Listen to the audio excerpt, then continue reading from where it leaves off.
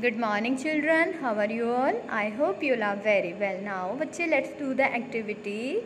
So take out your activity book, chairs, colors and open the page number 18. Open the page number 18. So first of all, bache, write down the date on left side of the page and homework on right side of the page. Okay. So bache, today we'll do coloring in juicer. What is this?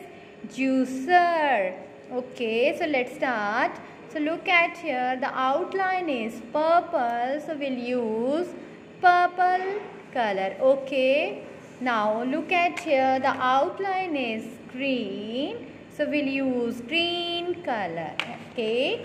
Now the outline is blue. So we'll use blue color and the outline is red so we'll use red color okay and the, after the color spread the color with the help of tissue tissue or a cotton for good finishing so bache bye take care this is your homework for today